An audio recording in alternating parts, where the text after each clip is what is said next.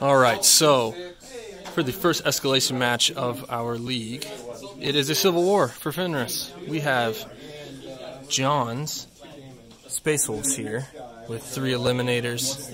Up on the hill, we got scouts. Down here, we have Reivers with a Phobos captain. And then on the hunt, he has five of these. The Wulfen. This could be incredibly dangerous coming in turn one across the board on all these objectives.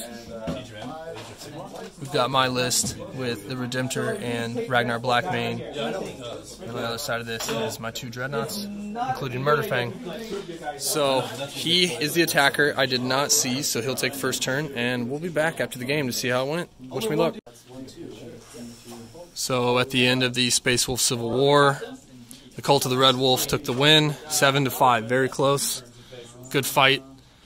Uh, the 8-inch movement and rerollable charge ability of Wulfen Dreadnoughts and Murderfang ended up being the difference. There were a couple times he thought he was far, far enough away, but rerollable charges, you know, if you can get hot with one of the rolls, you get there. Um, the Wulfen were especially destructive. He used a stratagem to come off the board edge and charge.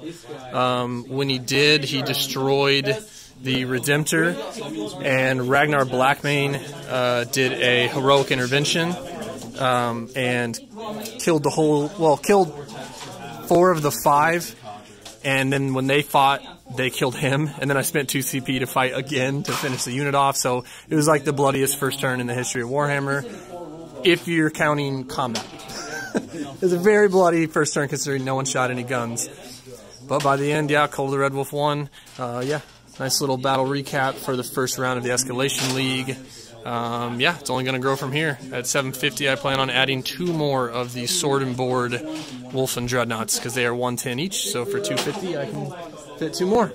So hopefully my opponent won't have a bunch of flyers that we're just shaking our fist at. but yeah, tune back in. Thanks, guys.